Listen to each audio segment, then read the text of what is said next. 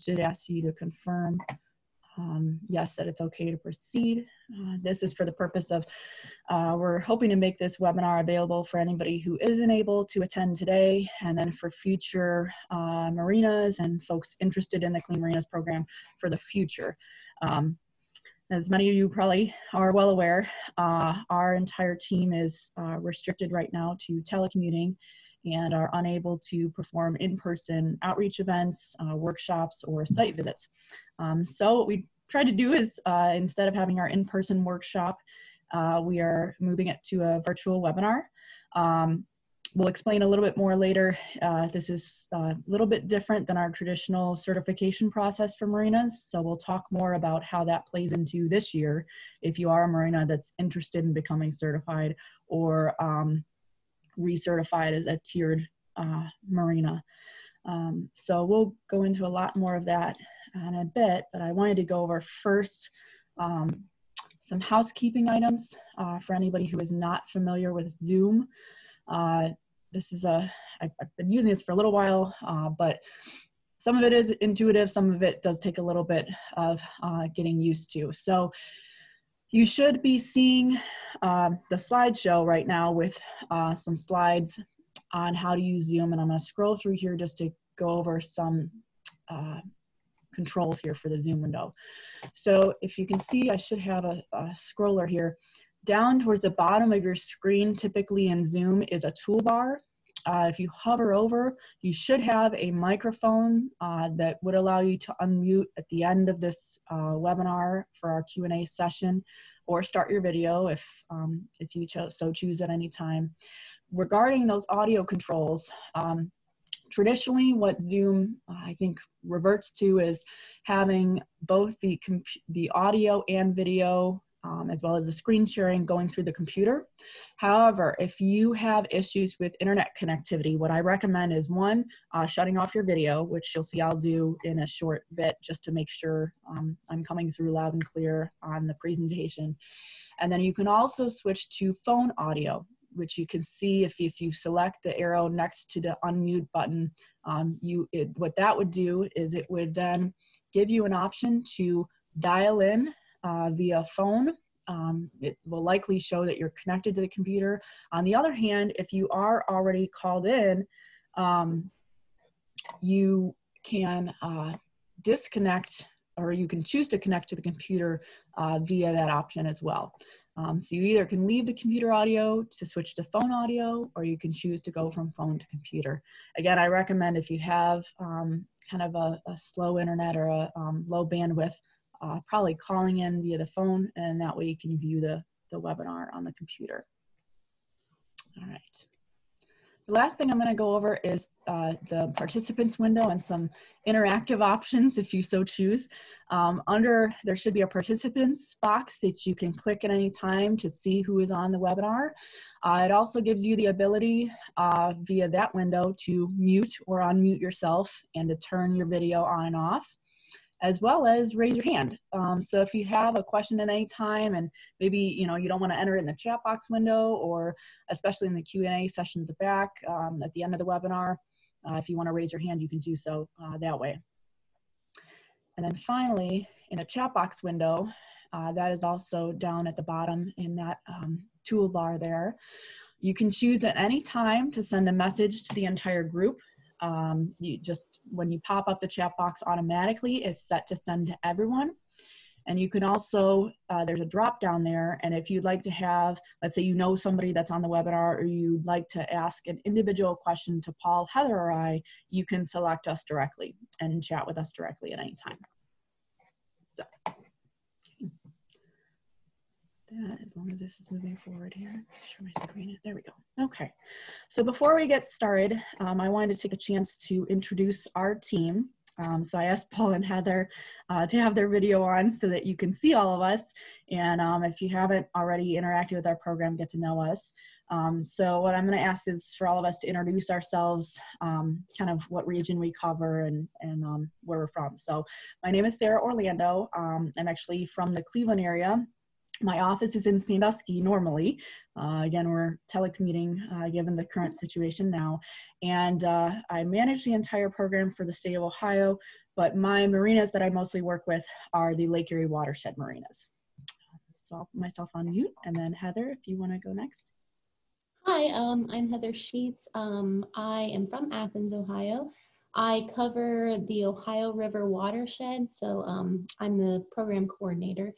Um, and my office is really my car, but I do have an office at Mount Gilead State Park. Um, and I've been with the program since uh, 2015.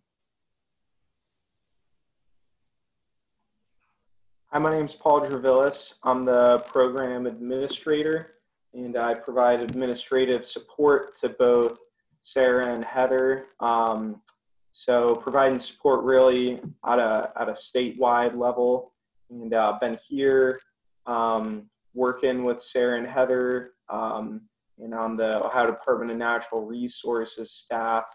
Uh, just for the past handful of months, I started at the end of September, so still learning.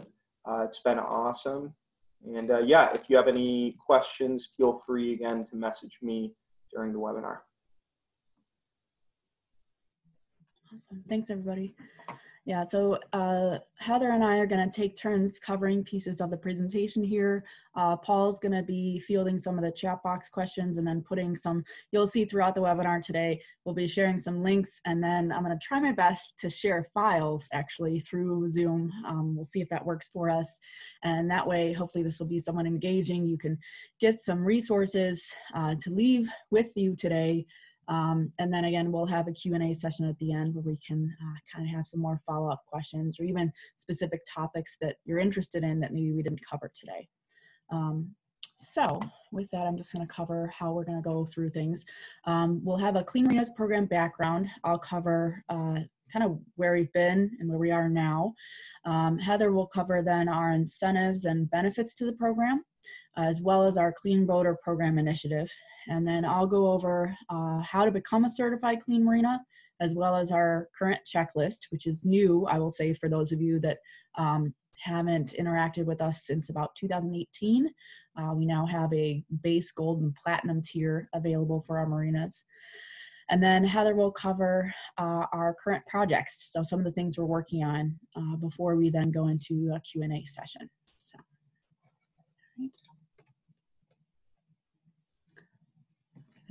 here. So I'm gonna go ahead and shut off my video again so that my internet works well and runs this for you all okay. All right. So Paul and Heather, I may have to have you chime in, but um, what I'm going to do first is there's a great video put together by the Great Lakes Clean Marina Network um, that covers the Ohio, excuse me, the Great Lakes Clean Marina programs, and it's really a good introduction to what we do. Um, so Paul or Heather chime in. I have this window, but let me know if you can see the YouTube browser if it's still on my PowerPoint slide. It is currently still on the PowerPoint. Okay, so let me stop and I'm just gonna switch over to the YouTube video here. One second, folks. Okay. Is that better? Um, yes, yep. Okay. So we'll let this run just for just a few minutes here.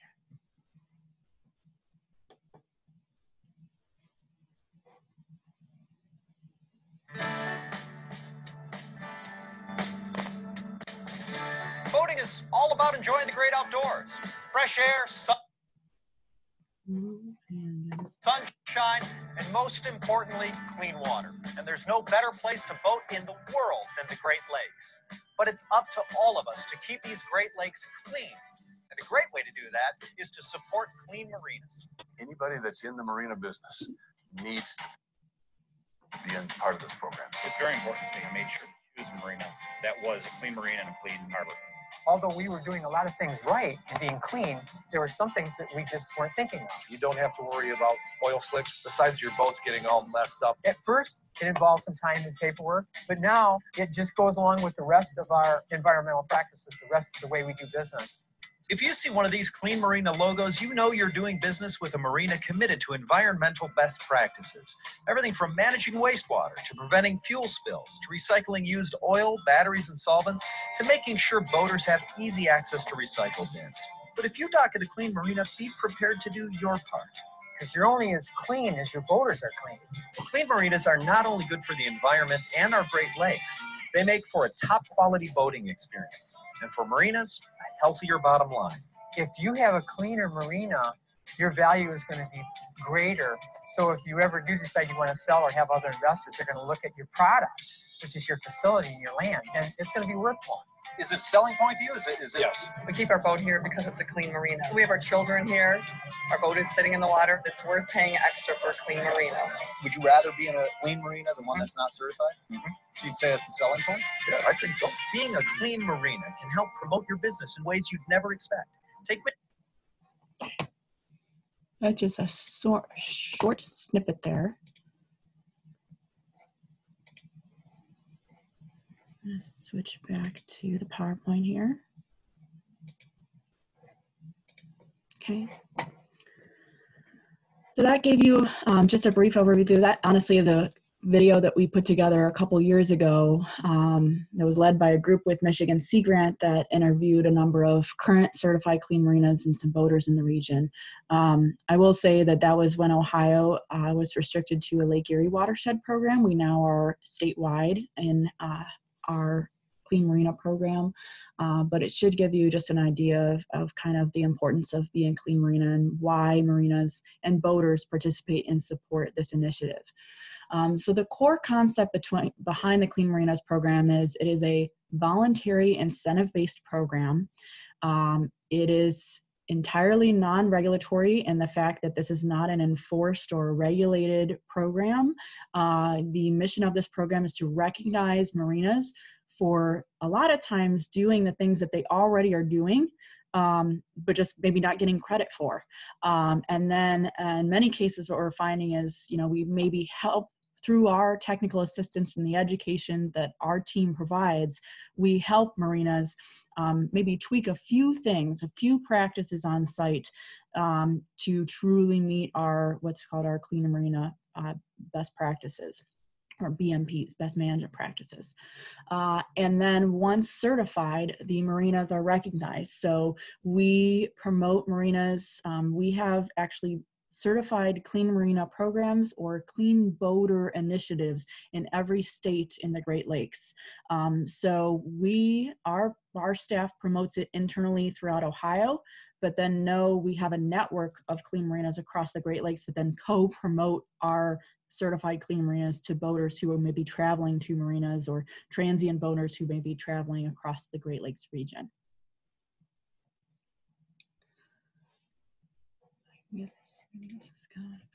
Here we go. Um, so I've been with the program since 2011. Um, you'll learn more in a minute, but our program actually started really the beginnings 2003, 2004. Um, but over the years, I've been able to talk to the marine owners about why they're engaged in our program and why they stay with our program. Um, and you know, I'm just being honest. You know, you have the warm and fuzzy. Um, you have people that that know it's you know they're doing it because it's the right thing. Um, but then we also have, as Heather will go through in a minute, uh, benefits and incentives to being, um, you know, financial incentives and, and, other benefits to being certified. Um, but when I talk with marinas and I talk with our certified marinas, like the key thing I try and get across is um, marinas have a unique opportunity. They are essentially the last chance any sort of water runoff has to be managed, treated, or um, impacted before it reaches a body of water, whether it be Lake Erie, whether it be an inland reservoir, or whether it be the Ohio River. And so marinas through the Clean Marinas program are not only able to use our best practices to enhance what they are doing on site, but I truly feel that they can use that opportunity that they are capturing runoff from their marina and lots of other places upstream to say, hey, not only am I doing everything as a business on my property to make sure I am not polluting and I am protecting and enhancing the local ecosystem, but a lot of times I've taken care of other people's runoff. Um, or trash or what have you. Um, and so I truly hope marinas that are engaged in the program take that opportunity to talk to their community members, to talk to their local uh, decision makers and say, hey, you know, I'm, I'm really going above and beyond um, what is being asked of me. And, and that's where our marketing comes in. And that's why, um, you know, we feel marinas that are clean marinas deserve to be recognized through this program.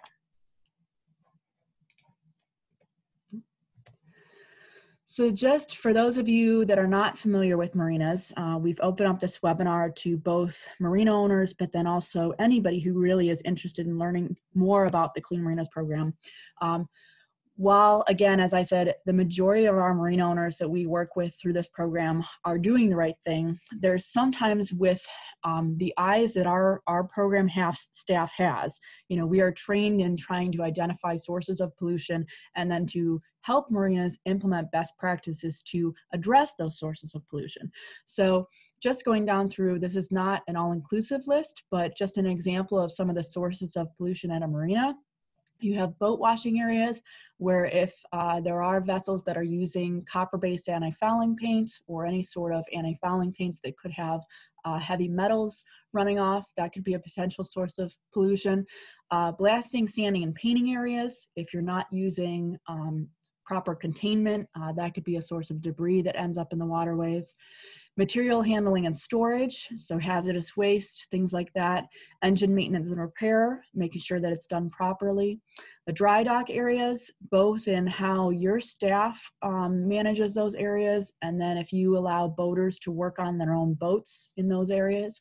Parking lots. Now, this is obviously not exclusive to marinas. Uh, there are parking lots all over, but uh, any parking lot is, is definitely a source of potential pollution if you have cars that are leaking or, or just debris that they're carrying from the roadways.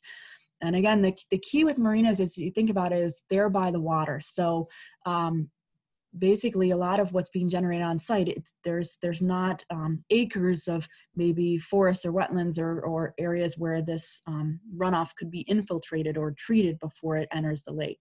Um, there's usually a lot less space between that parking lot and the waterway for example. Uh, fueling areas again in the same way fueling at a regular gas station for your car and if you have a fuel spill there versus fueling on the water um, you know, again, there's not a parking lot or maybe a grassy area where your gasoline could could get slowed up or, or evaporated. Um, you know, if if a if a vessel owner is is fueling up their vessel uh, and they have some drops of gasoline, maybe uh, they overfill the tank, that goes right into the water. And then general yard areas, again, whether it's your staff that are conducting maintenance and work in those areas, or if you have boaters that are either doing work or even if you have landscaping going on, if you're using herbicides, pesticides, things like that, that could all be sources of pollution on site. So some examples of ways that our program can work with you to help uh, have a positive environmental impact include we work with you on suspended solids, which essentially is sediment that can cause turbidity and carry heavy metals with it to the water environment. You can decrease pollutants that can accumulate in water, sediments, in the aquatic food chain. That has impacts, you know, at the base level food chain all the way up to um, us humans in terms of for anybody that does eat fish that are living in that body of water. Uh, we can help you decrease biodegradation, which can lower dissolved oxygen. Um, in Lake Erie, there's a number of factors, but there's certainly best practices that marinas can do that actually, you know, if a number of them were able to do them, they could help with the dead zone, for example, and areas of low dissolved oxygen on the bottom of Lake Erie. We can help you decrease phosphorus and other uh, important nutrients that again are we're trying to manage in, in small amounts they're helpful in a lake environment. We need primary uh, productivity to occur um, but in some cases throughout ohio we have an overabundance of nutrients entering our waterways. And so we can help you again manage those nutrients so they're staying on the land and staying out of the water which can assist you with any algal growth if you have issues with that and then finally, decreasing oil and grease, which can enter the water and harm aquatic life. Um, and there's a number of best practices as well as giveaways and incentives that we have for boaters and marinas um, to help with that. All right. So next, um, we chose, uh, we actually partnered with ODNR to develop a great overview video of our Ohio Clean Marinas program. So I'm going to actually switch my screen here and that video I already have up. And I wanted to share that with you all because it's a great overview of our history and kind of where we've been in Ohio. So I'm gonna see if I can get this to work here.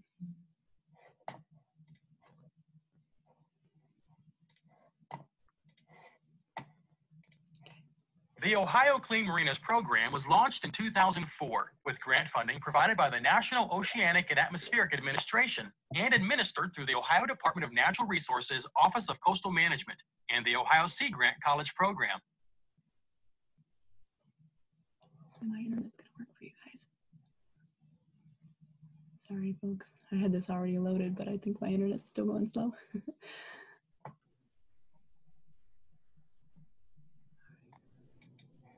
Let me see if I can get this to work here. All right. I think my home internet is not playing along well with me. What I'll do is I'm going to switch back over to my PowerPoint here because we've got it all covered in the PowerPoint. Paula, if you don't mind, I'm going to have you put that link in the chat box window in case anybody wants to view that at a later time. And I'm going to switch thing. back to the PowerPoint. Thanks. All right. So basically, our program, again, as, as um, the video started to mention, was started in 2004. It actually historically was limited to Lake Erie watershed marinas. And um, when I started in 2011, I, I was um, it was hard because I had marinas inland who actually wanted to become a certified clean marina, and just because of our funding setup and limitations, uh, we were only able to work with marinas in the Lake Erie watershed. Um, so we're very pleased um, to, to say that in 2015, we partnered with the ODNR Division of Parks and Watercraft to expand to a statewide program. Um, we're one of the few statewide programs in the Great Lakes. Um, and uh, we feel that it's important because um, we are funded by a combination of federal and state dollars. So our state dollars come from the Waterway Safety Fund, so boating tax dollars uh, for parks and watercraft.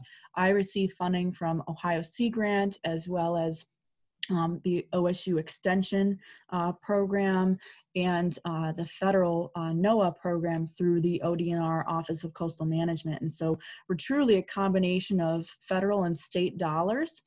And uh, regardless of whether we're working on the Lake Erie watershed or the Ohio River watershed, we're impacting huge, um, you know, water systems. Whether we're talking about the Great Lakes, and then in terms of the Ohio River watershed, ultimately, um, the practices that are happening in Southern Ohio, the Ohio River watershed, and on downward, uh, end up Im impacting the Gulf of Mexico. And so we even have support from NOAA and the federal government for working statewide because we are ultimately impacting either the Great Lakes or the Gulf of Mexico um, through our efforts across Ohio. Um, so we've received very strong support um, on both a, a regional, uh, state, um, Great Lakes, and a national level. Um, in large thanks to our partners, um, our support of Sea Grant and ODNR. And then as well, I want to mention the Lake Erie Marine Trades Association. Um, so we are purposely set up uh, with an advisory board that guides our program. And that board is comprised of representatives from uh, several state agencies, from uh, Sea Grant, which represents kind of our university partner and linking to the science, and then as well as industry representatives, both individual marina owners and uh, partners from the Lake Erie Marine Trades Association. So we strive to have a balance between uh, the environmental goals um, that are, you know, founded in in um, the whole mission of our program, but as well as balancing the economy and wanting to make sure we are supporting our marinas uh, as small businesses, as local businesses in Ohio. And we accomplish all of this truly through education because, again, we are non regulatory. Um, so everything we do is steeped in um, education. Our, our environmental best practices are science based. And then we uh, work with our marinas to adopt best practices, not through regulation, but through education and technical assistance. Um, so that is really how we um, kind of conduct this program across Ohio. Um, I will say, just for folks who are just starting to become familiar with this program, um, we're not alone. There are clean marina programs all across the country. Um, so there is a Texas Clean Marina program, there's a Florida Clean Marina program, there's a Maryland, um, New York, well, New York has a Clean Marina initiative. Um, California. It's, it's all across the country. So um, when you become a Clean Marina, yes, we promote you in Ohio, but know that we actually, our team actively engages with other Clean Marina programs across the country to learn from, share ideas, share challenges, um, and so that we're not working a bubble. Um, if we have marinas that, for example, are having an issue with invasive species in Ohio, we can then take that question and feed it out to the larger clean marina network and you know pool resources and so we're not reinventing the wheel we can learn from other states and what other marinas have done to address some of these challenges that you may have so and then the last piece here is we currently have about 83 certified Ohio Clean Marinas. And we'll learn more about our tiered program later, but um, of those, 13 are gold certified, what we call gold certified, and then we have two platinum certified, which is the highest level. All right, the last and final thing, I already mentioned that we have a national um, number of certified clean marinas, but I did want to switch over for a moment just because I think this is a phenomenal resource that many of you may be interested in. There is a um, website and a network called the Great Lakes Clean Marina Network. So I'm going to take this moment to, to bounce over to uh, a website here. See if I can get to my browser. Mm -hmm. Okay. So Paul and Heather, nod your head if you can see the Great Lakes Clean Marina Network browser there. Perfect. Okay. So this is, I believe Paul may be putting this in the chat box window, um, but there's a website. It's essentially glcleanmarina.org. And um, there are a number of our Ohio Clean Marina program resources on here, but there's a, this is basically a, a clearinghouse for a number of clean marina programs in the Great Lakes. And I just recommend you to check it out if you are running a marina or interested in boating or anything related to recreational boating. It's a great resource. Um, there's some highlighted resources here. There's actually a best practices guide if for whatever reason, let's say, and if anybody ever watches this this webinar, um, if you don't have a clean marina certification program in your state, this guide is actually meant to be a guidebook to help you get started with a Clean Marinas program, or if you're a marina that, you know, maybe you don't want to go through the full certification process, it still is a phenomenal resource. It's actually a guidebook that covers recommended environmental best practices that all of our Clean Marina programs actually adopt in the Great Lakes, and then some of the reasoning behind those practices. Um, so it's a really great resource. There's an online clean marina classroom that's available through Michigan. Uh, right now, I believe a lot of their marinas are go through an online classroom for training. I'm going to go ahead and bring this up. There are archived educational webinars. These are, again, if you're a marine owner operator or if you work with marine owners and want to learn about topic specific information for marinas, this is a huge um, a kind of a database of information. We have past presentations on everything from um, kind of general overview to we have um, boat wash water management. Um, this is an older one, but I'll tell you a lot of this information is still relevant for marinas today. We have aquatic invasive species information. We have stormwater management, and then we even have one on increasing resiliency for marinas and harbors. So that goes into some of the coastal resiliency with coastal storms and hazards. Um, so those are great, you know, unfortunately in what's happening currently, if you have some downtime and uh, you wanna uh, brush up on some of these topics, I recommend looking into these. And then also I'm gonna go to this resources page, this publications and resources drop down. Um, I won't go through all of these, but again, it's, it's a great place to come and just kind of browse through and see what else is here. There's case studies from marinas that are, um, have, have been a clean marina. This I'm gonna bring up here and then Paul, I believe, may have um, a link to this in the chat box window. We've worked with vendors uh, across the country, really, to offer uh, Great Lakes Clean Marina discounts. And basically what that means is if you are a certified clean marina, you can um, get a discount uh, for being a clean marina um, on certain products. So this is something I recommend checking out when you get a chance. Um, it's a number of different products and vendors that um, we're not endorsing, but it's just simply we kind of compiled this list that they offer a discount for certified clean marinas on certain products that they have. I'm gonna go back one second here. And the only last thing I'm going to highlight here is going to be a fact sheet. Um, it's actually a compilation of Clean Boater, what are called tip sheets. Um, they're really great, um, already PDF files that you can download or um, you're welcome to ask us. We do have a small supply of tip sheets available that we may be able to get to you. And again, I won't open all of these, but I'll open one of them just for an example here. Um, these are statewide. I'm going to open the rack cards. These are really great ones. They, they actually branded them so that any marine in the Great Lakes, it's not a state specific uh, fact sheet. Um, but like this one, for example, is a good one. It's called Be a Good Boating Steward.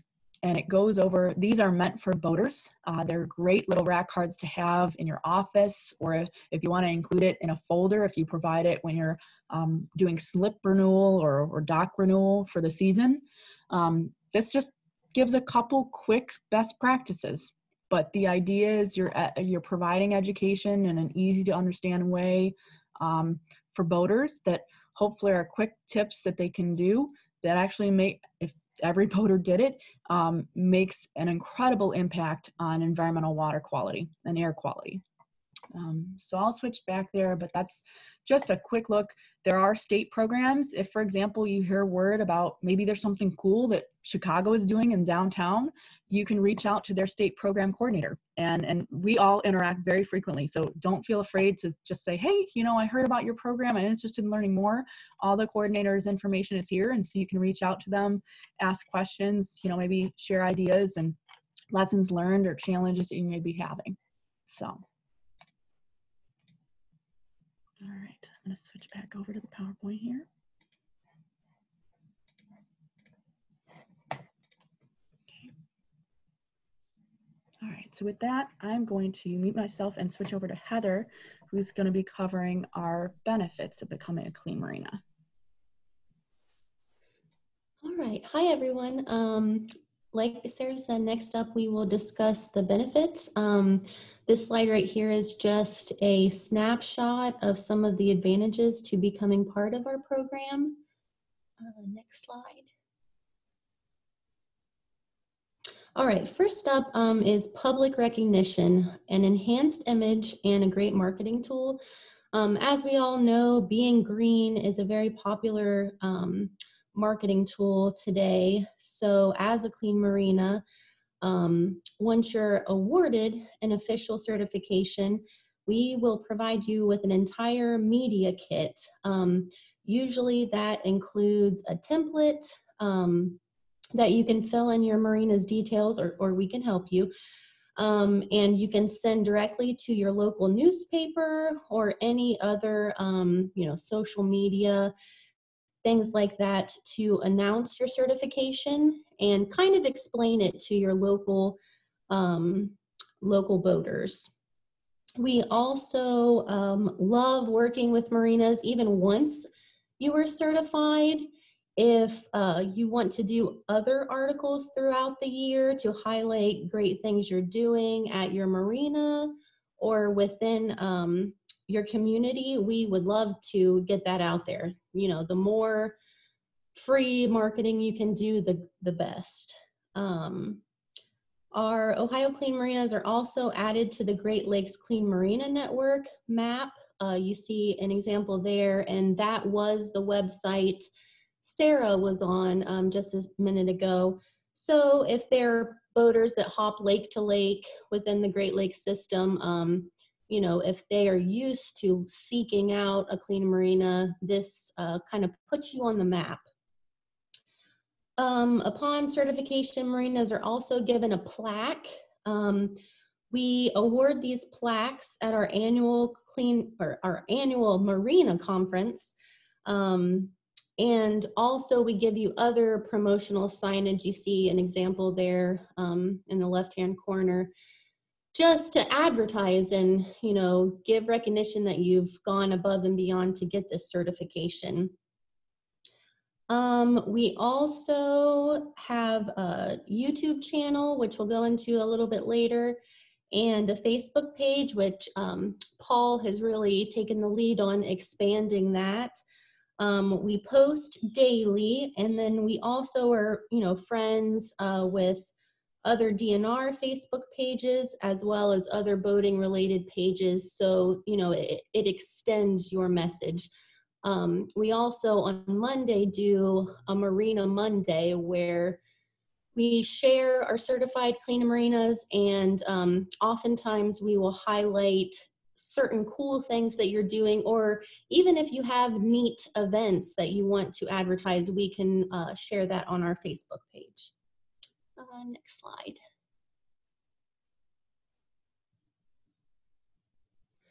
Um, next up is compliance assistance um, and other education and training. This is actually the most the most popular advantage with our marinas. Um, you know, oftentimes our marinas are small business owners, and that is their you know specialty. But we, as um, you know, nerdy naturalist types, we know a lot about the the green side of um, marinas and what they can do to better their environment. So uh, we provide webinars on different topics. Um, a couple examples are using alternative cleaning products, specifically on your boat, uh, but you know you can take those home with you and use them um, just on home cleaning, car cleaning, anything. Um, also, some programs on using native plants um, and maybe even invasive um, plant removal or, or uh, ways to deal with invasive plants.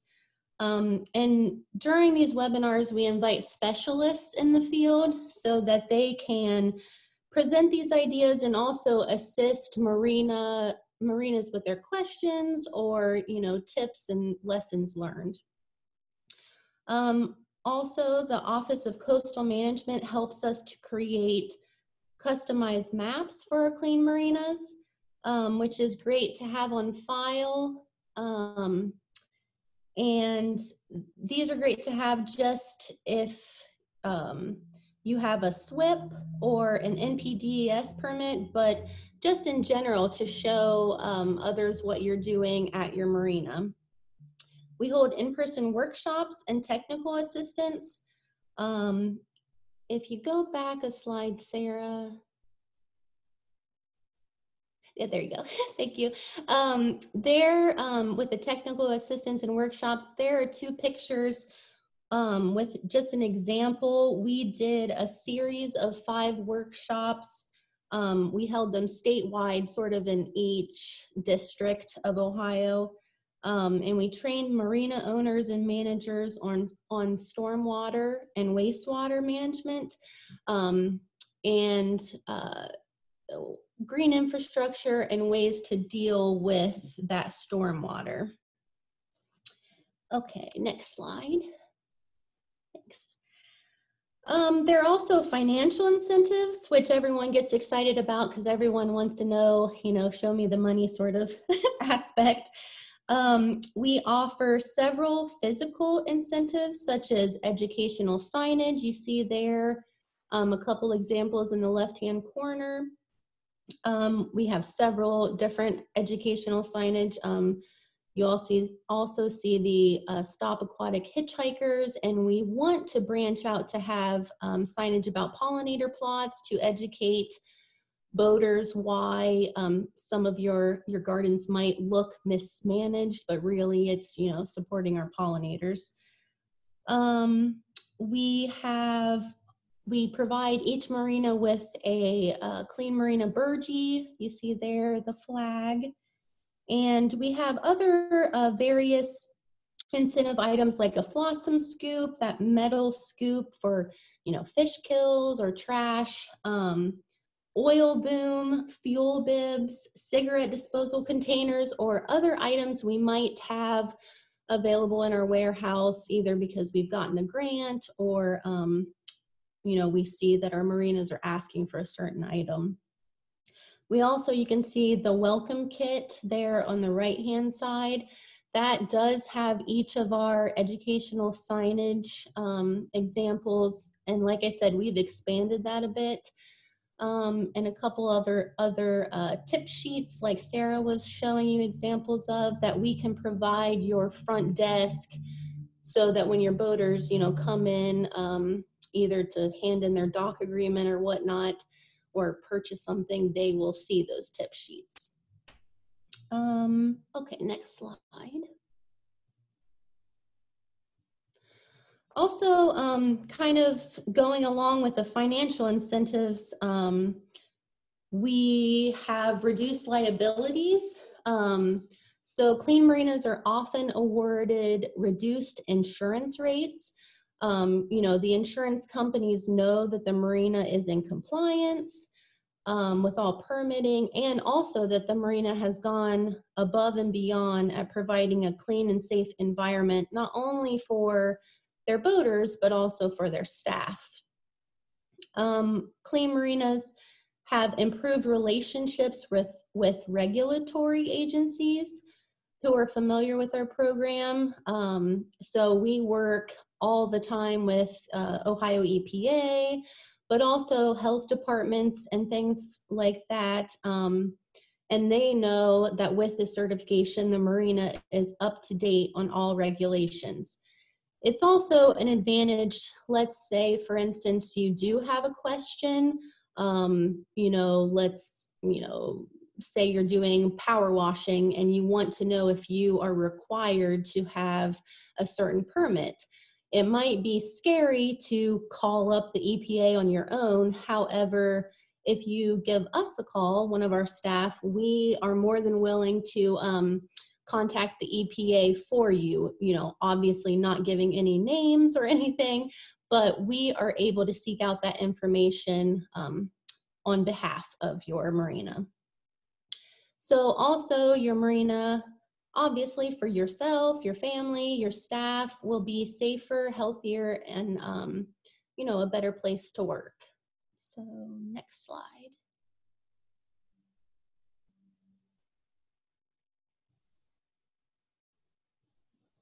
There you go. Um, another advantage to being, oop, can you go one back? Uh-oh. there we go. Thank you, Sarah. Um, uh, one other advantage to being part of the program is our Ohio Clean Boater program, as well as training that we can provide to your boaters and uh, your marina staff. We have Marina and boater educational resources you can find on our website, which is listed there uh, first. And Ohio Department of Natural Resources also links you to many of the same um, marina and boater resources. Like Sarah already kind of give you gave you a, a walkthrough of the Great Lakes Clean Marina Network website. They also have tons of pub publications and resources um, to train both yourself, um, your staff, and your boaters. Our social media schedule, um, Paul has done a wonderful job at expanding um, and he and our staff shares daily tips and educational articles relating to boating industry. Um, we also worked with Josiah Wade at uh, Office of Communications at DNR to provide a handful of um, YouTube videos to use for training your staff or yourself or your boaters on topics like fueling or um, you know recycling shrink wrap so there is the link there to check those out um, we would also love to come out to your uh, marina to train either your staff or your boaters. Perhaps you have, you know, an opening day, um, you know, a dock party or some other big event. Maybe it's a, a fishing tournament. And um, one of the three of us uh, could be available to come out. And we have, of course, our Clean Boater tip sheets, and we have um, pledges as well as little freebies that your clean boaters while they're getting education they get something for free so you know everyone loves some free items. So um you we can also we've started to do a train the trainer sort of program because it's only the three of us. So sometimes especially on those busy weekends we can't be everywhere. So if you are interested in having your staff or even local educational staff or our naturalists um, trained, we can do that training so that we can reach more boaters um, throughout the state, either just adding it to your safety um, lesson before you head out on a paddle trip or something like that. And we can provide those uh, freebies as well. Um, another resource, if you um, contact us, we can give you a binder of information to give your boaters, um, as well as some of those incentive items. I know I've worked with several naturalists and given them stickers and um, waterproof neck totes, anything that we have on hand, um, you know, that our budget allows, we can give those so you can not only do the educational piece, but give something to your boater.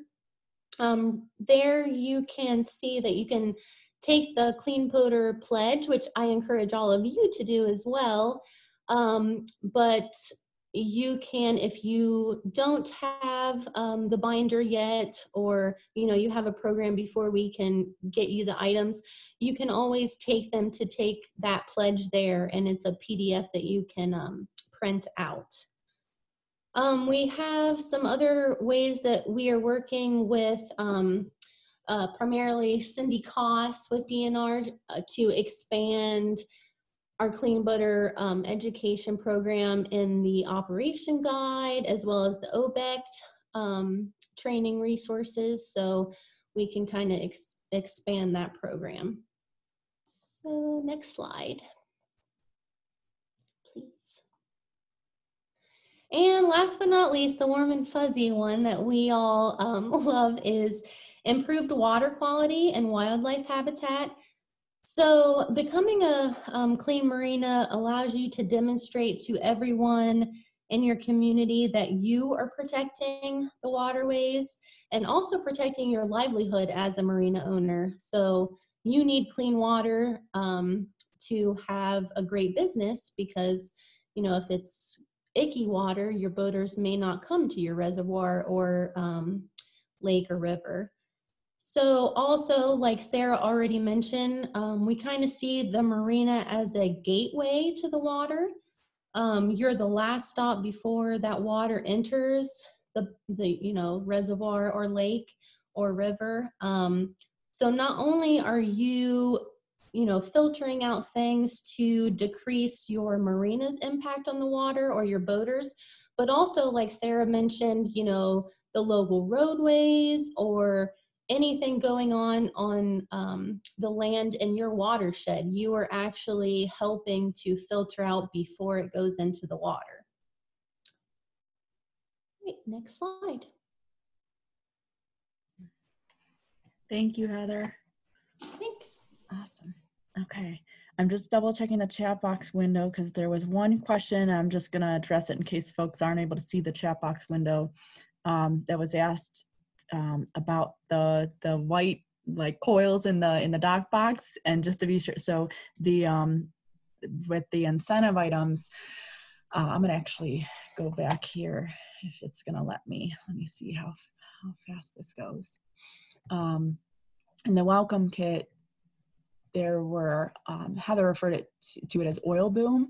Um, mm-hmm. It's basically uh, right here, and I'll see if I can highlight it right with my cursor. Um, so this is a dock box. Uh, most marinas, if they have a fuel dock, they are required to have um, oil boom on hand. Um, it's honestly a good practice regardless um, in case there is a spill.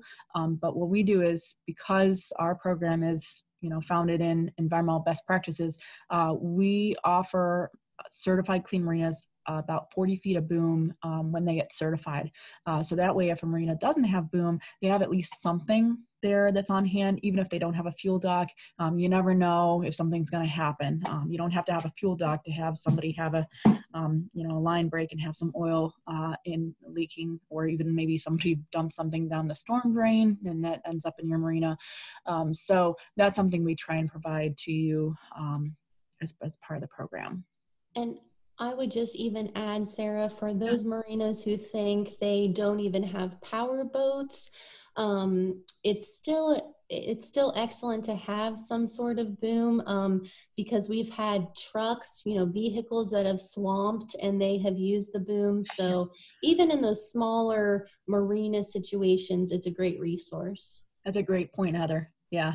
I think all of us, and, it'll keep going, but the stories that we've heard about since taking this position is, um, yeah, there's always something. It's there's some crazy scenarios that end up happening, and so from our standpoint, it's always better to be prepared. So we try and help you in any way that we can with that.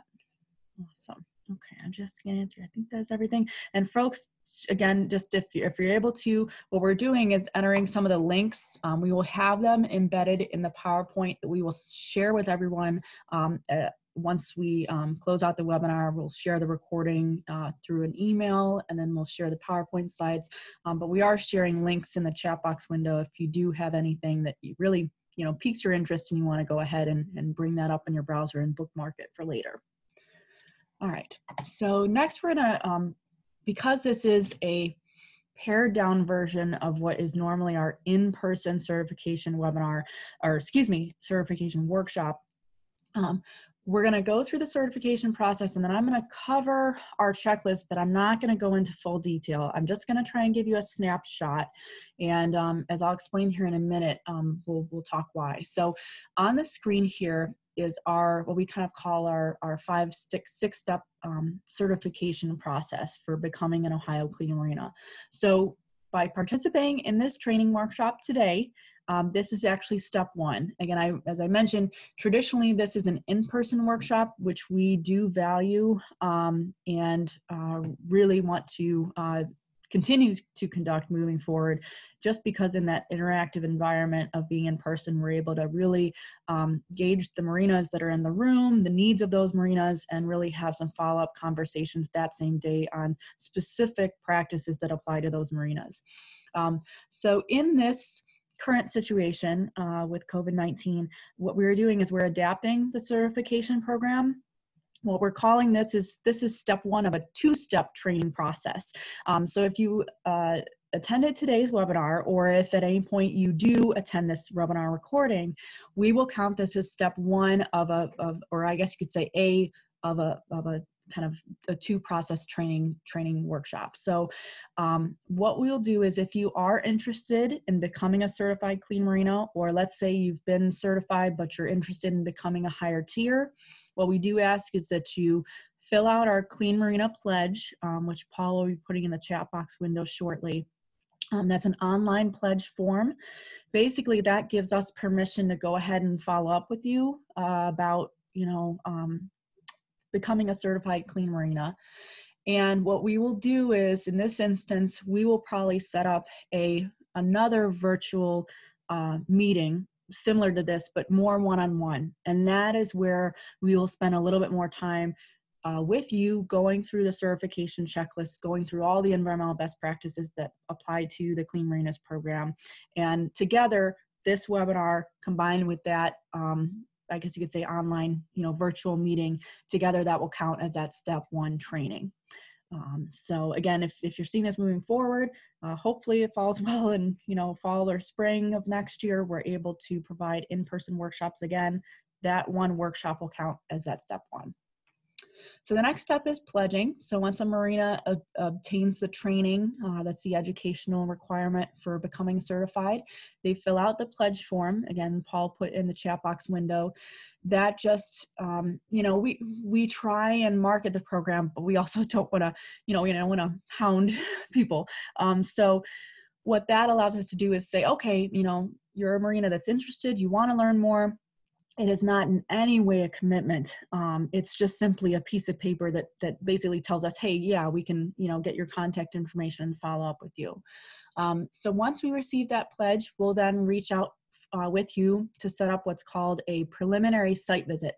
And basically that's where we come out on site to walk around your marina and we go through the entire checklist in detail based on what's specifically at your site again in current conditions with everything that's going on um, at least for the foreseeable next couple months if you do want to move forward as a certified clean marina what we will ask is reach out to us or fill out the pledge and what we will probably do, do is a virtual site visit um, to the best that we can, trying to uh, assess your property.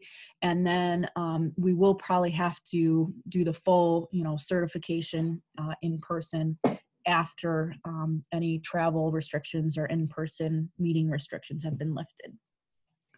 So after that step three, after that preliminary site visit or the virtual preliminary site visit, we will submit to you, uh, really it's kind of a letter that outlines recommendations. Uh, what's nice is we, we basically take the checklist that we complete with you on site and we pare down that checklist to say, all right, you know, because again, most marinas, you guys are accomplishing already a lot of what's on our checklist. So we go through that checklist and say, okay, good, you're good here.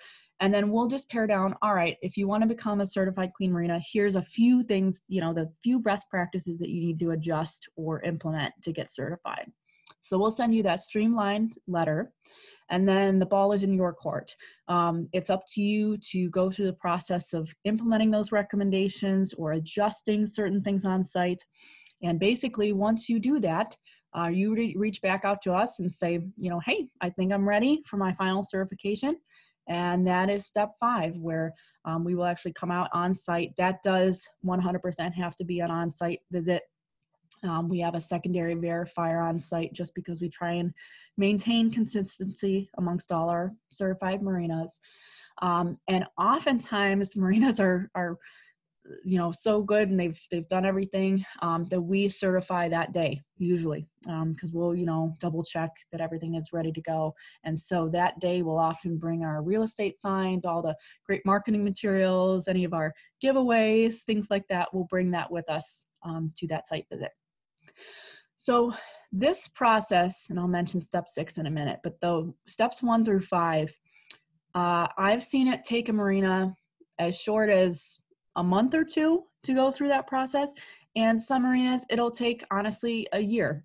Um, it's we're we try and be flexible. We understand that especially now there's challenging circumstances and marinas alone are you know again often small businesses trying to deal with lots of things. Um, so we try and you know work around your schedule. Um, if you're you know really on board and let's say your marina is already meeting a lot of these practices you could attend this webinar. We could set up a virtual site visit and get you all ready to go. You could implement recommendations in the next couple months. And as soon as we're able to come out on site, we could get you certified. Um, if let's say the summer just, you know, gets crazy and you know you get bogged down with as happens other things um, by all means we can wait until the fall. We actually do certifications in the middle of winter. That's okay. Sometimes that's the best time for the marinas to kind of walk around the marina and, and get certified. Um, so we work year round. We, we adjust around your schedule. We do ask that you uh, get certified within about one year of the workshop just because things change our recommendations change so if you're a marina that let's say you attended a workshop a couple years ago and you pledged, but you never became certified, we do ask that you attend a workshop again just to freshen up on the best practices, maybe new education, things like that. So we do ask that. Uh, once a marina is certified, that certification is good for five years. So we will do what's called a desk audit, which is basically we send out a letter asking marinas to affirm every year that they're still completing the practices that they met when they became certified. And then every five years, we come out for an in person site visit. Uh, step six of our certification process, this is new as of 2018, is reaching a higher tier. Um, so what I'm going to move into next is our tiered certification program. And uh, basically, our, our program, our 10 year anniversary was in about 2015. And um, what we realized is we, you know, we have a number of marinas across Ohio, you know, over 80 marinas that are participating in this program. Um, it can get boring if, if they're doing the same practices year in and year out and um, you know maybe the marinas are you know they joined 10 years ago and it's like okay you know you know what what what else can i do? So what we did is we worked together with our advisory board and a number of our partners and we redid our checklist. And um, again i'm not going to go into detail on this but just going to try and give you a snapshot of what we've done here. Uh, we redid this and built it out to be a tiered program. And the idea is all of our existing certified marinas are at what's called a base level tier. And so they're already grandfathered into the new program setup. And then what we did was try to set up a gold and a platinum tier so that either new marinas who are joining can certainly, you know, shoot for the stars and go for a gold or a platinum tier um, right from the get-go or currently certified marinas who again maybe are you know they've been in the program and maybe they're looking for something new they're looking for you know new challenges or maybe their boaters are supportive of some new practices that weren't around in in 10 years ago. I'll tell you right now we i wasn't talking a lot about marine debris when I started working for this program. Now, marine debris is a huge topic the boaters are very interested in.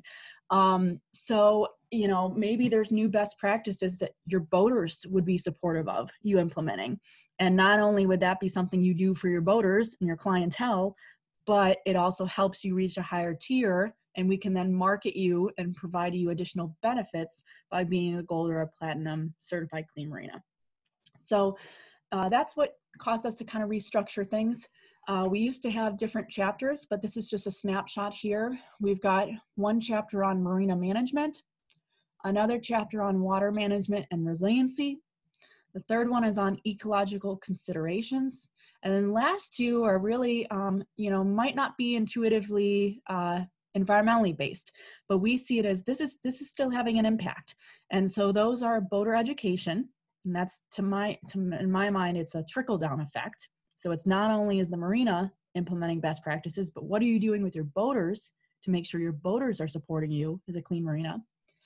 And then your employees and the community. How are you making sure your staff are also following you know the good practices that you're doing to be a clean marina? And then how are you interacting with your community? So we'll go through these briefly. I'm going to point out a couple examples. And again um, this is not going to be full in detail. I'm going to try and share, and I don't know if it's working. It's showing in my screen, but um, there I have the ability supposedly to share files, and I'm going to try and do this here. I'm sending a tiered program checklist to everyone right now. It shows up as a PDF for me in the chat box window, but I may not get to you all. Um, regardless, uh, we'll have that checklist available to you all. We'll send that up in the follow-up um, with the recording, the PowerPoint. So the marina management chapter, just a few things we'll call out. Um, marine debris is is actually a big part of this section, but the way we approach this is it's okay. How is how is a marina owner operator staff member you know how do you manage um, certain things on site like how you um, your waste management and things like that. So do you have uh, fishing line recycling bins if you allow fishing in your marina? Um, do you have uh, supplies for either um, oil spills or uh, best practices such as fuel bibs on your fuel nozzles to catch the drops of gasoline? Um, if you have an above ground storage tank, do you have secondary containment?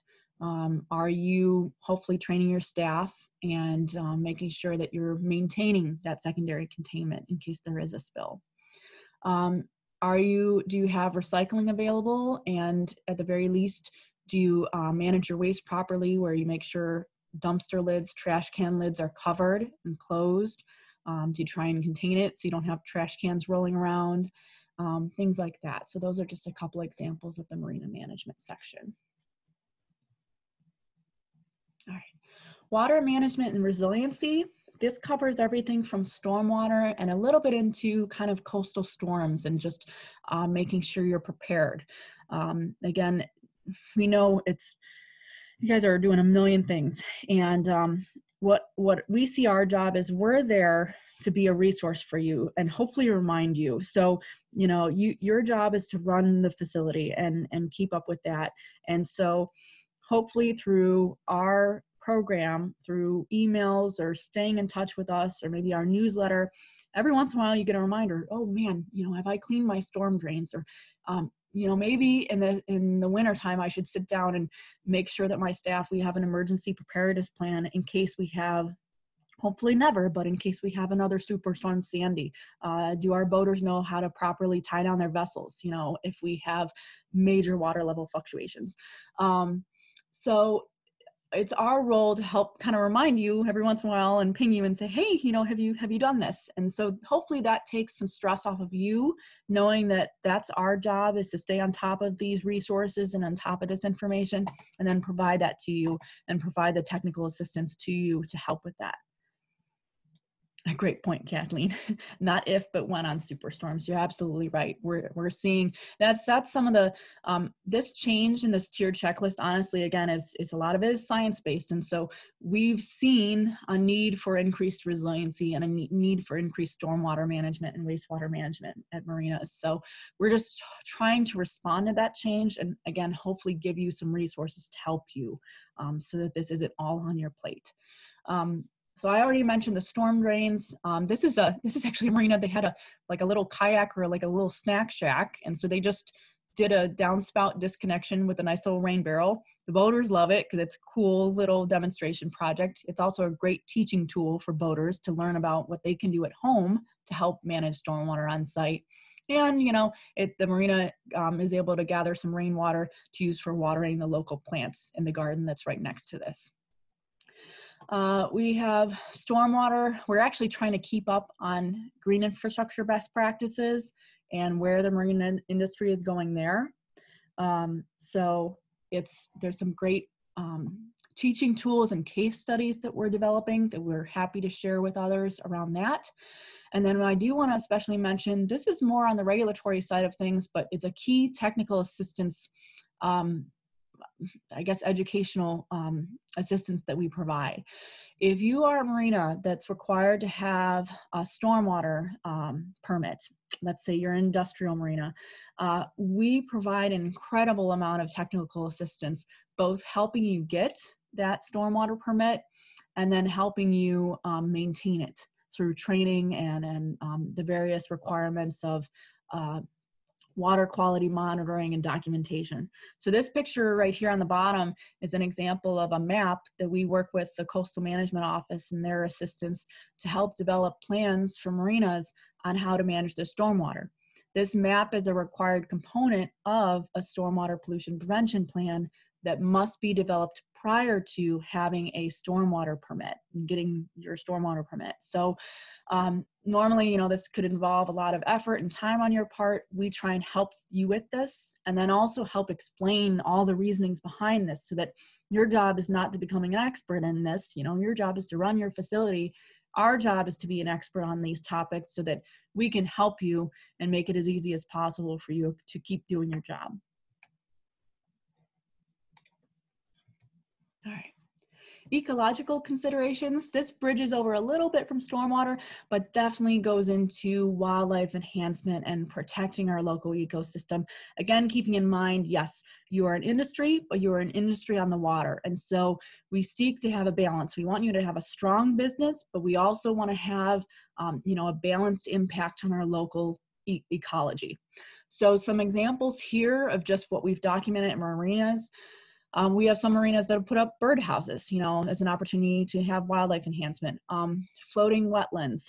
There are um, great opportunities if you have the space um, for native grasses or what we're calling living shoreline along the shoreline instead of, um, you know, it's all dependent on your wave energy and wind energy and your local environment.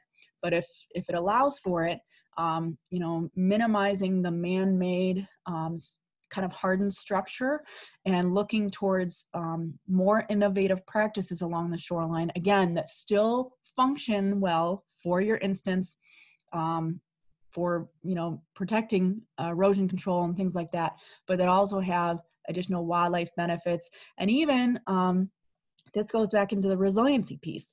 A lot of these practices not only enhance wildlife um, and benefit wildlife, but they actually help you um, become more resilient in uh, coastal storm situations and flooding situations.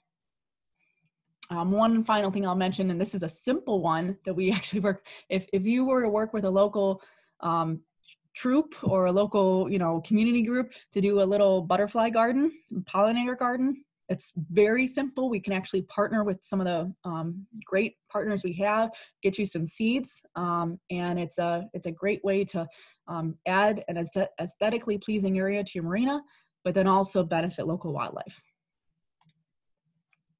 All right, the last two, boater education. Again, this is this trickle down effect. Um, some examples here are if you put up signage, if you have a boat ramp on invasive species for boaters, uh, what we're trying to do is make sure boaters, if they are transient boaters, that they are actually um, what we call clean, drain, dry. They're adopting best practices to minimize the spread of invasive species when going from body of water to body of water. Uh, if you offer vessel safety checks, uh, we've been starting to partner a lot more with the U.S. Uh, Power Squadron and Coast Guard Auxiliary on uh, incorporating environmental education into their vessel safety checks. So not only are especially new boaters um, getting good education on you know how to properly run their vessel and and be a safe boating steward, but they're also getting education on how to be a clean boating steward. So making sure you know they're they're fueling in the right area on their boat and they're not um, you know, the fueling in the fuel tank and not in the bilge, and which we've heard stories about. Um, and that they not only have flares on hand and life jackets, but they also maybe have um, some gloves and a garbage bag on hand in case there's trash. You know, th- just trying to think outside the box, not just accomplishing safe boating, but together accomplishing clean and safe boating.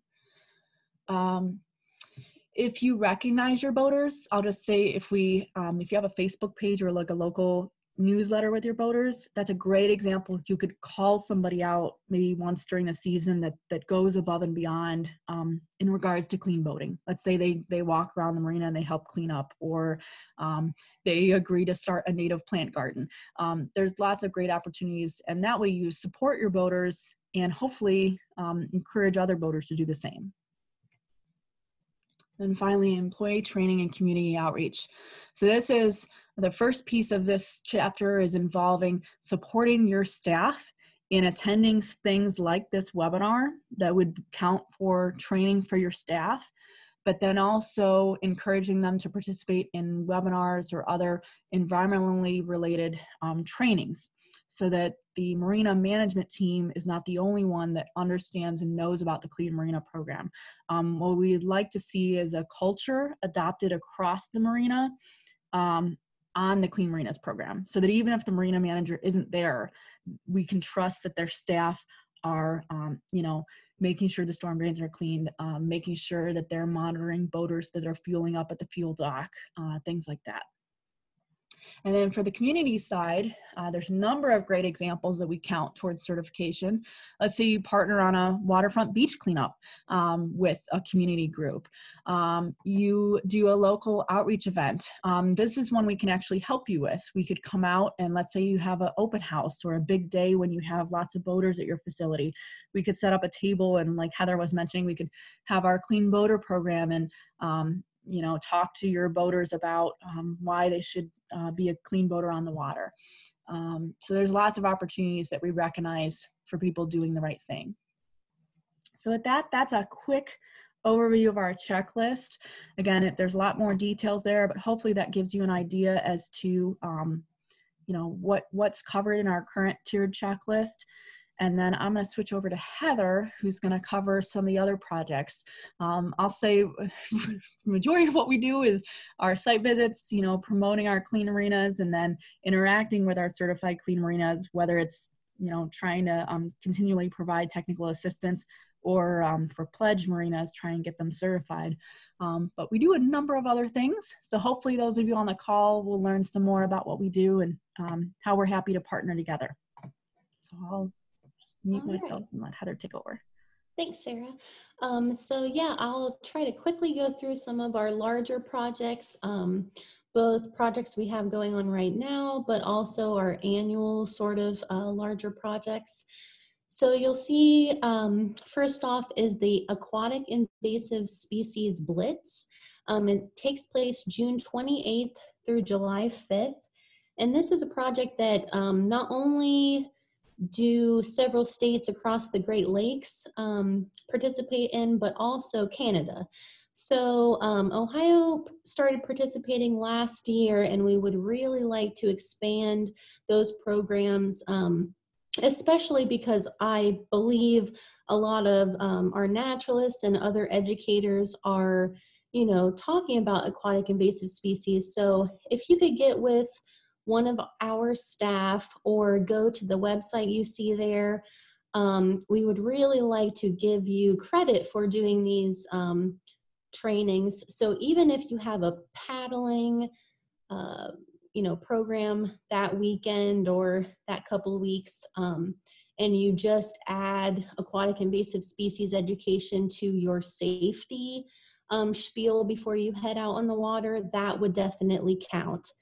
Um, and honestly, I I know you naturalists probably talk about aquatic invasive species even when you're out on the water. So definitely let us know. Um, and we're working with wildlife on those AIS Blitz uh, programs as well as OSU Sea Grant.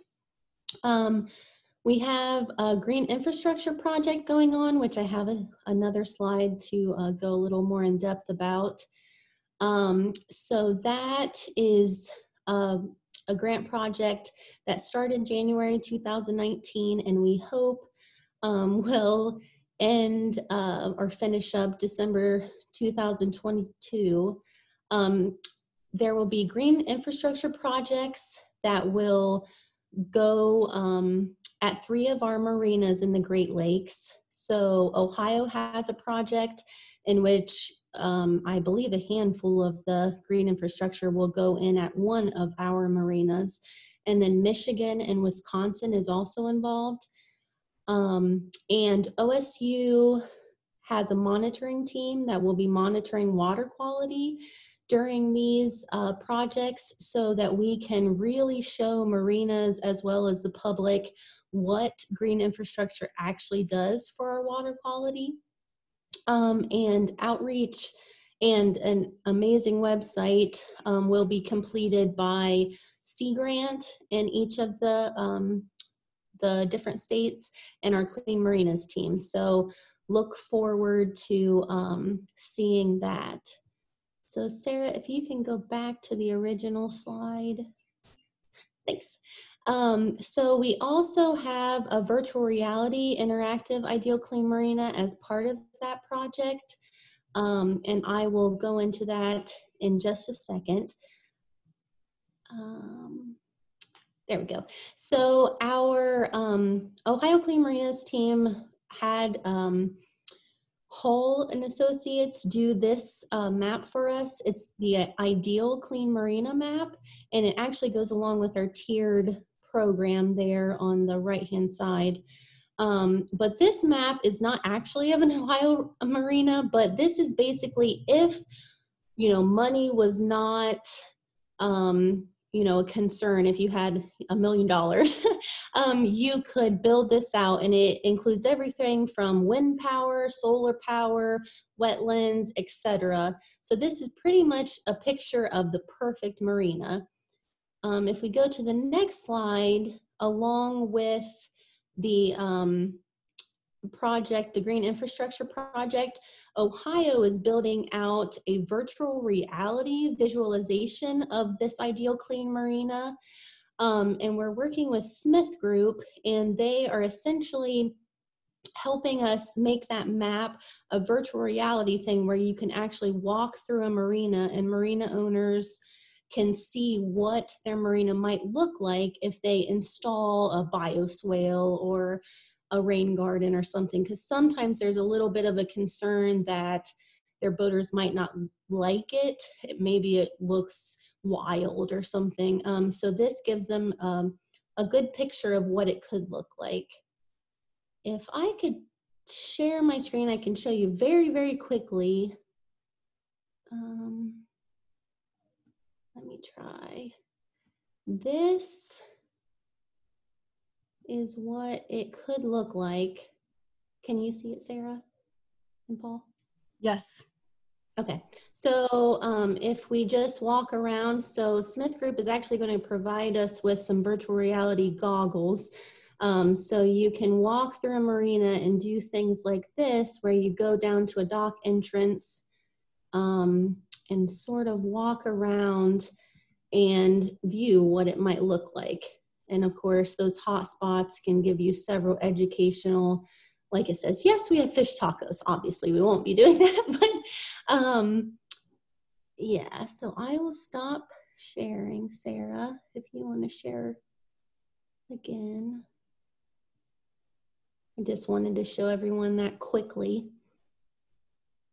So um, that will first, if we can go to the next slide, um, start with a green infrastructure because that's part of the large, larger project. So we'll talk about downspout disconnection and the various ways you can do that, um, native vegetation, pervious pavement, um, everything like that, even down to green roofs. And Josiah from um, ODNR Communications has already worked with us to do those awesome shots you see there those are actual Ohio marinas, and he was able to do 360 and drone footage with us so that um, you know you can actually see this implemented in our Ohio marinas. If we go to the next slide, our phase basically three is once we um, you know have the funding and stuff to do additional hotspots that will be able um, to allow us to enhance the, the uh, map and the virtual reality to go into, you know, pump out stations, fish cleaning, life jacket loaners um, stations, recycling bins, things like that that aren't necessarily green infrastructure, but great best management practices at our marinas. If we can go back a couple slides, sorry. back to the summary. I'm getting there, Heather. Sorry, I'm trying. no, sorry, guys. No, you're fine. Trying to jump around. There we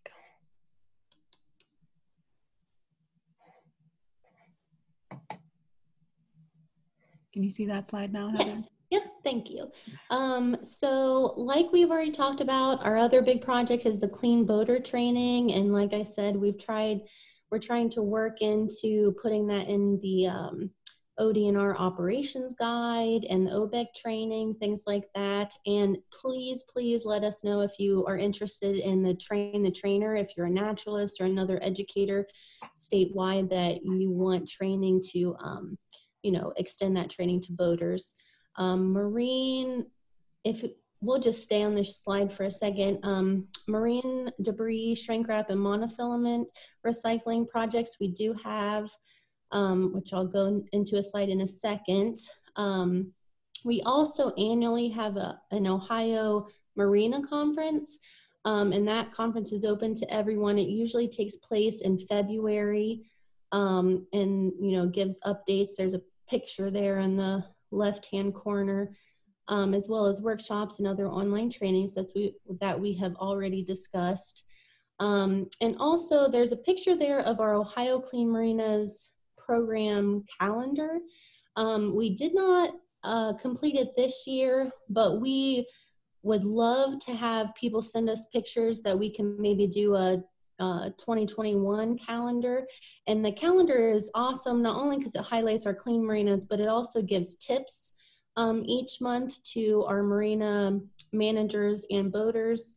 Um, and it also gives you reminders if you do have a permit that you need to do like water quality testing or something like that, we give you a little heads up to do that. So if we can go forward a couple slides to marine debris, I think that's my last last little bit and then we can try to hurry through it for questions. okay. Okay.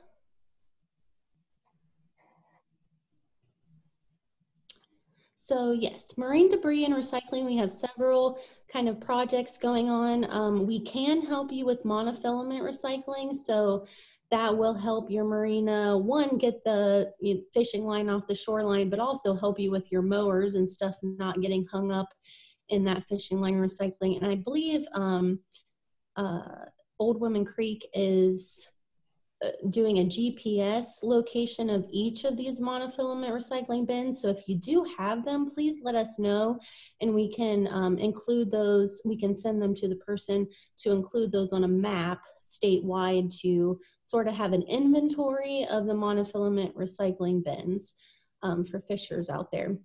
We also have um, uh, a Skip the Straw campaign that was primarily focused on Put-in-Bay tourists and it went, went exceptionally well. You have a couple pictures there of a cleanup that we did, um, but it was really inspiring to see the, the bartenders and the uh, business owners there really take ownership of the program. Um, they spent the summer educating their visitors um, about you know why they're skipping the straw, and it's not just an ocean thing, and it is a Great Lakes um, thing. So it was really inspiring to see them take that one to their customers, but also probably home as well. Um, we currently have a US EPA trash free Great Lakes grant initiative that we've submitted funds for to put water or in water trash skimmers in the Ohio um, uh, Lake Erie watershed at our Ohio Clean Marinas.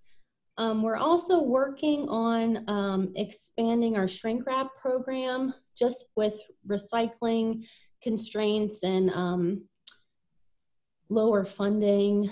Lately, we have tried to work with uh, certain marinas statewide that have kind of taken the lead on this project and we're able to offer collection sites.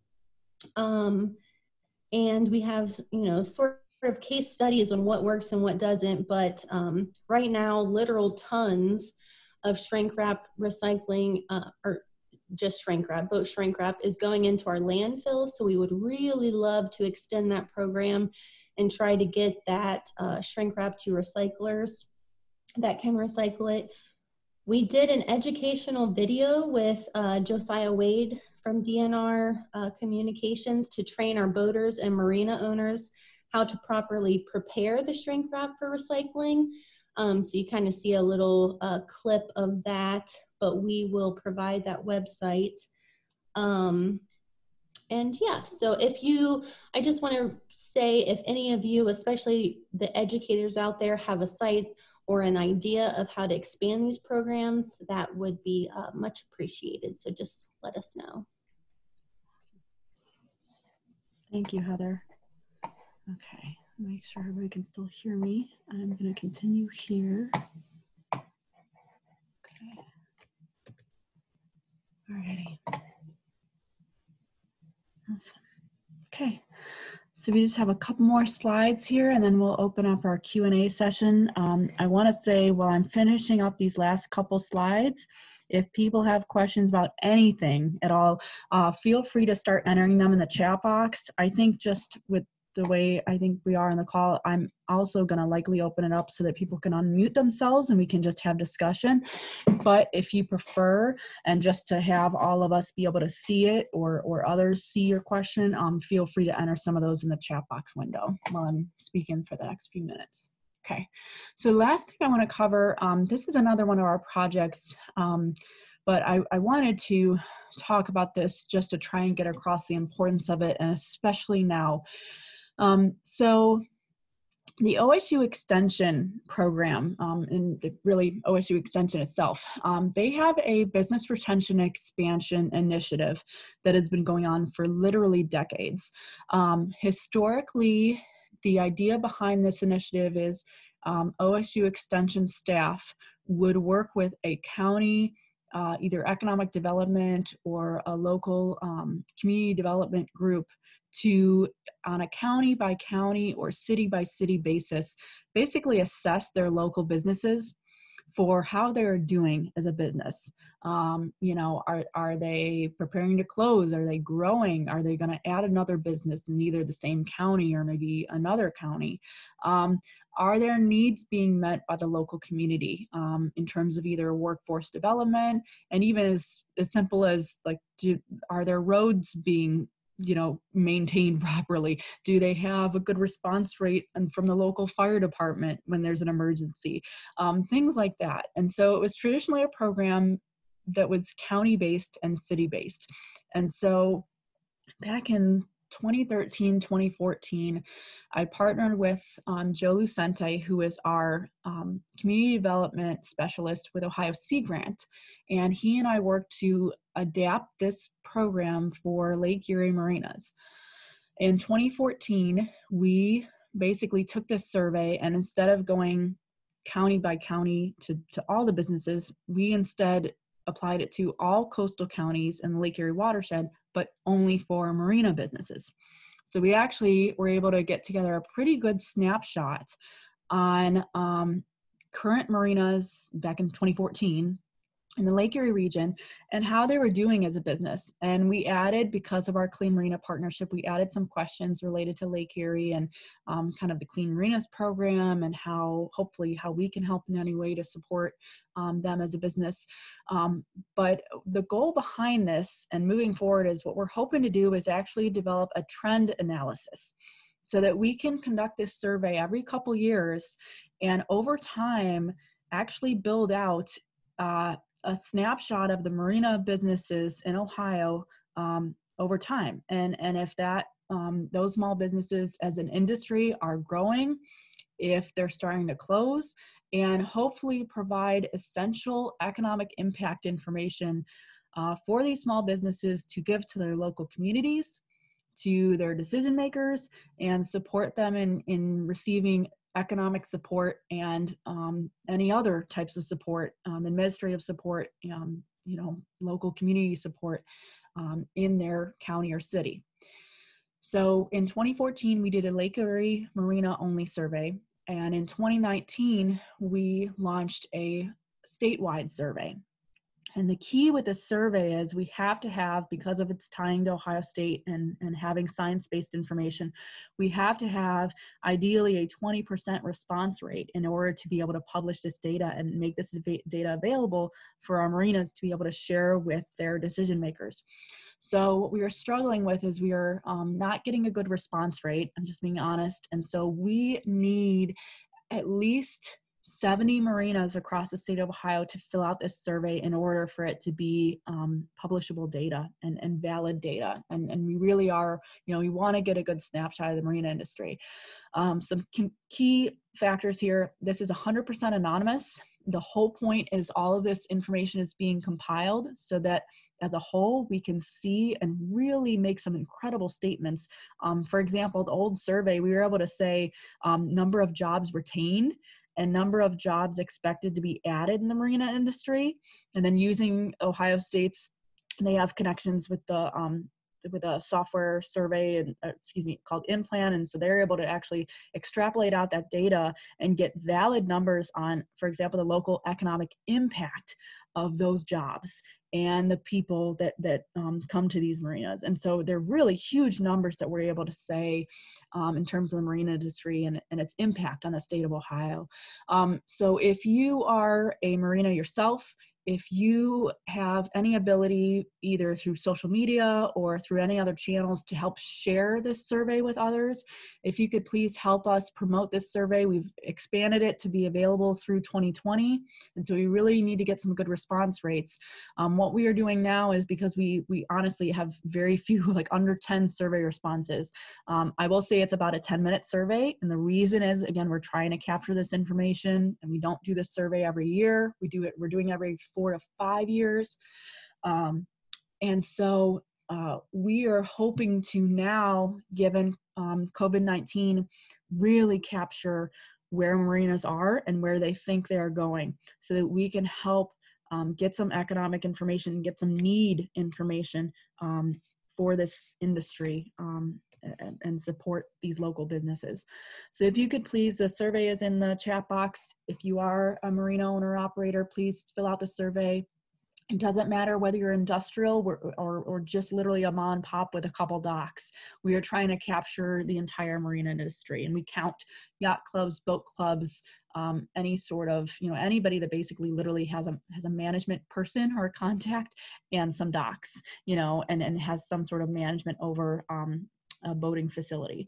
So if you could please fill that out or share that with others. And um, if you have any mechanism, maybe a newsletter to get that out, please contact us. Um, we have some more slides and even like a letter to go along with it that we could share with you to help promote the survey. All right.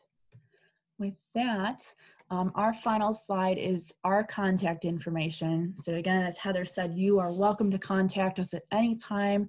If you would like to partner on any of the projects we've mentioned or learn more about the projects, if you'd like to have us talk about maybe a train the trainer for your staff on either clean boating or even maybe um, uh, clean marina training for your staff. Um, this is a reminder if you're getting our emails and newsletters, um, we actually have a oh shoot heather or paul if you're able to there's a there's a um, subscribe button on the Sea Grant page where you can subscribe for our clean uh, boater newsletter that we send out that has uh, relevant clean boating information.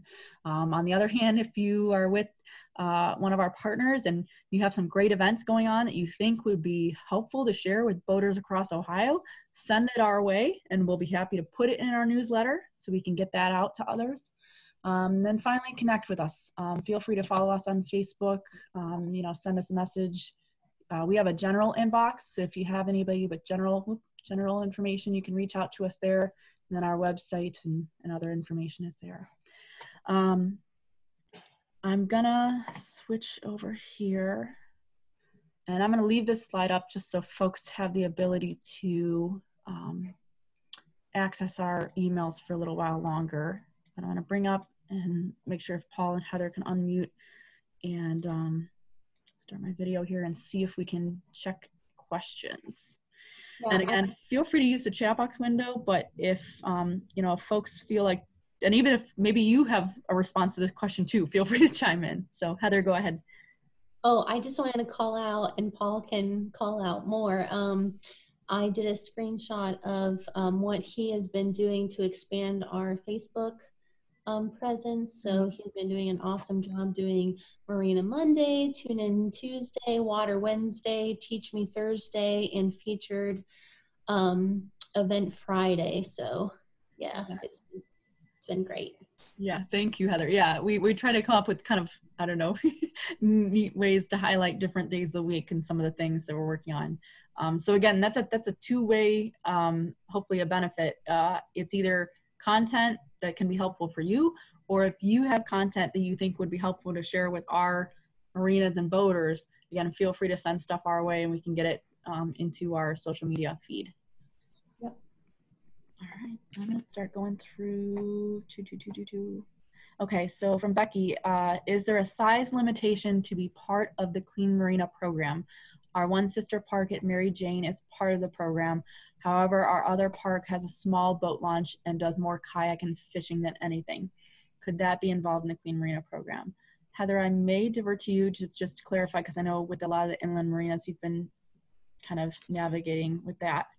Um, yes, so all that we kind of ask is that if you have um, a permanent staff that is interacting with your boaters each um, uh, each day, so even if you have a reservation sort of office, but that you can educate those boaters. So there's a point of contact 24 7.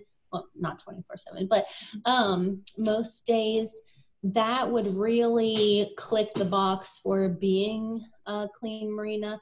Otherwise, we, um, if you're more a paddling sort of lake and you don't have that point of contact daily, um, what we can do is really help you with the clean boater program um, and sort of you know reaching your boaters and encouraging them to do those best management practices on your lake and giving you that binder and your um, incentive items toward your boaters so i can reach out um, and i will email you later and just if I can add on to that, when I when I talk to people, I kind of joke, but it's we literally have marinas that have 800 slips and a full scale industrial marina that are a certified clean marina. And the same breath, we have there's just one that I always make. There there have like 10 boats, 10 slips and a and a boat ramp. And you know, hey, they have an invasive species sign at their boat ramp. They have a point of contact for us. And and from my perspective, both of those marinas obviously may have a whole slew of different environmental best practices uh, and a quantity that they're implementing, but both of them are doing everything that they can under our program to become a certified clean marina. And so we recognize both of them equally and give them an equal opportunity to participate. Yep. And that's kind of um, initially in 2015, um, it was sort of hard to do that definition, but now that we've done the tiered checklist and we've um, increase the uh, in education and the community outreach, like it really, you know, makes it possible for more marinas. I just want to say it's if anybody has any comments, feel free to unmute or say hello or anything, or if there's any ideas, you know, that come to mind? I have a question for you, or more of a comment question, I guess. This is Cindy Koff, by the way. Hi, guys. Hi, Cindy. Um, yeah, hello. I invited or tried to invite a bunch of the ODNR naturalists to join us today. And the reason why I invited them to try to join us today was um, how can they help you guys? How can how can we get the the naturalists involved? Um, some of them have little bitty marinas. Some of them have bigger marinas. Some of them are at parks that already are part of the clean marinas, such as uh, um, I'll, I'll, call out John Hickenbottom at Salt Fork State Park. Uh, he's already part of a really wonderful clean marina. So what what can you guys what kind of advice can you guys give them to get them started helping out with the Clean Marinas program or clean boating program? Yeah. Um, yeah, if I could take that. Um, I have talked to several naturalists, and really honestly, if we can get them to advertise what they're already doing, like let us know, um, because I know that they're going above and beyond with clean boater training and talking about invasives and natives and things like that.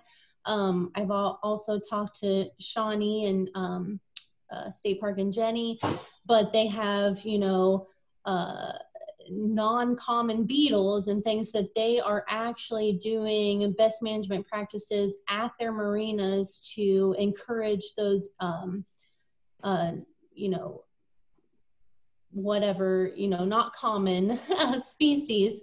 But um, i know as part of their programs they're already doing the uh, water safety education. So if they just tweak it a little bit and do the clean boater which i'm pretty sure they're already doing that is amazing. Um, and because of our tiered program and the education and the community outreach pro, um, uh, program, it is easier for us to include those smaller marinas. So if they just get with me um, and I can do uh, an initial site visit, that will really tell us if we can include them in the Clean Marina program.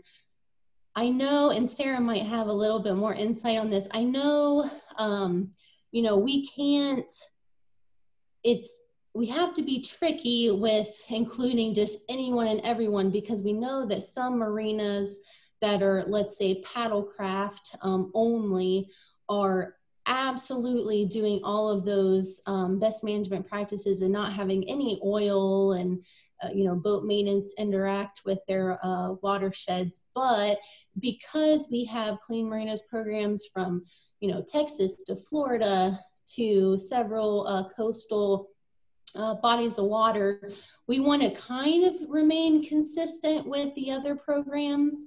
Um, but like i said even if we can't certify you as a you know clean marina we can do a lot with making you a clean boater um, reservoir or river um, and do a lot of education with your boaters. Absolutely. Heather, what you said is great. Um, and, and basically just to add on to that, it, that's exactly it. So we're trying to um, separate it out a little bit where if you're a certified clean marina, um, we, you know, it's, but we count marinas, yacht clubs, boat clubs. Again, we, we have, as long as it's a point of contact, you have docks, um, you count as kind of some sort of recreational boating facility in some way. Um, and then we used to have, I, would say, a much more streamlined clean boater program where it was just the pledge and it was okay we interacted with boaters at the boat shows they took the pledge they got a giveaway and it was great but we're trying to with this like heather said broader partnership with odnr parks and watercraft say all right you know, this is something that I think is more rigorous than just a clean boater pledge. If there's uh, education opportunities or ways that we can partner, um, it's it's kind of an in between. So it's not the full fledged clean marina certification, but it's certainly not just a, a, boater signing a pledge. You know, there's education involved there. So we're we're still mulling around exactly what, but I, I see you know being an opportunity where we could have this. It's, it's essentially it's a clean boater program um, that we recognize you for having and partnering with us on. Yeah. Awesome. Any other questions before we close out here? And thank you all. I know things are crazy right now, so appreciate your time. appreciate your input and feedback. Um, we're open to ideas. we want to be there to basically help support you and help highlight any work that you're doing. Um, and, and, and kind of, again, our, our increased partnership with DNR and with all of our partners across Ohio I see is our goal is creating a strong overall boating culture. Um, clean boating, safe boating, whatever it is. That's that's our mission to kind of help support that that entire process. Awesome. I just wanted to also add, I'm seeing some questions privately about um, clean boater information, which Kaylin, I will get with you because I honestly think Lake Hope could now be with the tiered program a certified clean marina, but also um, signage. I know that that's difficult if you have a pollinator um, plot. I know that if without the educational signage, people think, oh, you're not mowing and things like that. So please reach out to us if we can provide that signage for you. Um, I'm working with the Ohio Pollinator Project to see if we can, um, along with the Department of Transportation, also have those uh, signs at our state parks so they understand why we're not mowing and things like that so that the public doesn't complain. So let me know if you're doing those projects at your park and will help you get that signage. I think that's everything. Last call for any questions before we close out here. Okay. Thanks everyone for joining and we'll we'll say goodbye from the Clean Marinas program. Uh, again, feel free to reach out anytime and we'll follow up with the recording, uh, PowerPoint, and some of the resources we mentioned today. So take care, everyone. Stay safe, healthy, and sane. Thank you. Thank you. All right. I'm gonna pause the recording here if I can.